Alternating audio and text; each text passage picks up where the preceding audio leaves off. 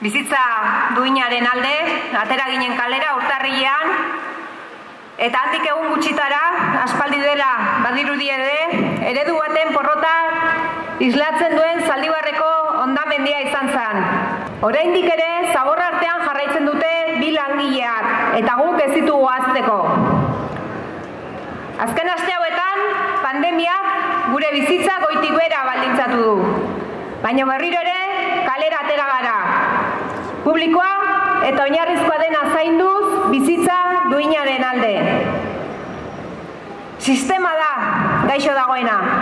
Sistema da krisian dagoena. Eta osasun krisitik, krisialdi ekonomiko eta sozialera igarotzen ari gara.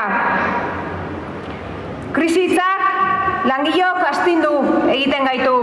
Langiloi ezin egona sortzen dugu. Ez zaigulako azten aurreko krisialdian zegertatu zan.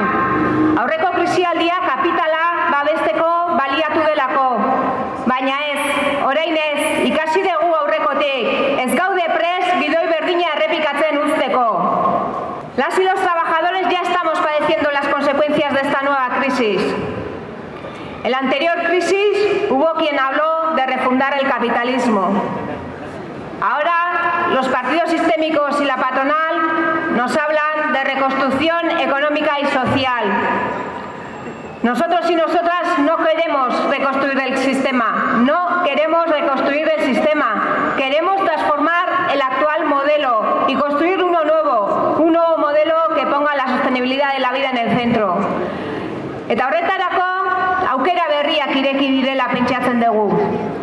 Aukera berriak batetik herritarren artean sistema honekiko atxekimendu falta edo aldentzea gero eta handiagoa delako.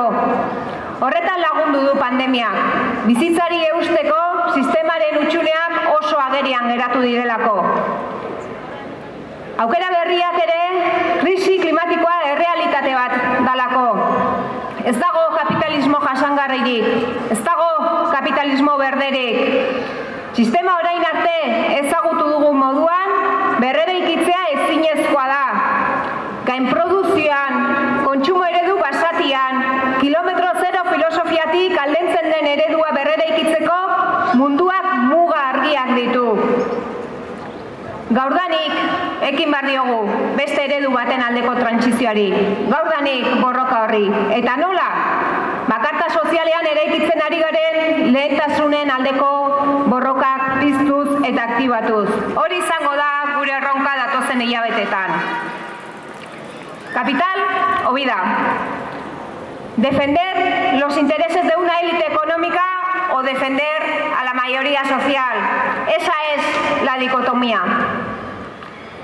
En la huelga general del pasado 30 de enero ya se vio dónde se sitúa cada uno.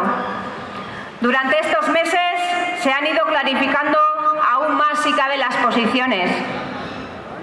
Y la simbiosis existente entre el PNV y Confebas es total.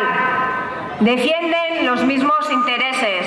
El partido gobernante, el PNV, se ha convertido en el garante de los intereses patronales y en portavoz de la patronal. Y además lo hacen sin tapujos, lo hacen sin disimular. Esta misma semana el diputado general de Álava lo ha explicitado muy bien. Le hemos visto ofrecer alianzas a las élites empresariales, alianzas con el capital, olvidándose de quienes más están sufriendo, olvidándose de las y los trabajadores y dando la espalda a sectores como el pequeño comercio, la hostelería, que tanto están sufriendo en esta pandemia. Y claro, defender los intereses de las élites económicas choca frontalmente con las reivindicaciones que tenemos en la Carta Social. Nosotros y nosotras defendemos un trabajo, pensiones y una vida dignas. Defendemos un sector público fuerte o un sistema público de cuidados. Y todo esto nos lleva a hablar del reparto de la riqueza, de la política fiscal. Y ese es uno de los debates principales del momento.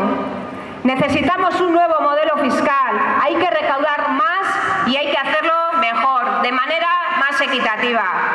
Claro que hay que hablar de rediseñar el IRPF para que sea más equitativo. Y claro que hay que modificar el impuesto de sociedades para que las empresas con beneficios paguen más. Dice el señor Lendakari que no es momento para ello. Él nunca pide esfuerzos a los empresarios, nunca pide esfuerzos a los empresarios, pero sí pide esfuerzos a los trabajadores públicos. Ese es el tándem PNV con FEBAS. Ese es el tándem que ha decidido seguir por la senda de las políticas neoliberales y aplicar recortes. Eta bideo horretan, parez pare izango gaituzue, parez pare izango gaituzte. Urtarrilaren ogeita marrean oso argi esan genuen, ez zela ezer amaitzen egun horretan, eta orain, arrazoi gehiagorekin bueltatu gara kalera. Garai zaiak dira bai langilontzat eta ezin da hori ukatu, baina aukera garaiak ere bai, eta more emateko inolako asmoreik ez daukagu.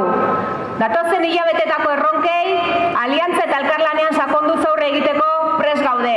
Eta berriro ere kalera aterako gara, berriro ere kaleak beteko ditugu.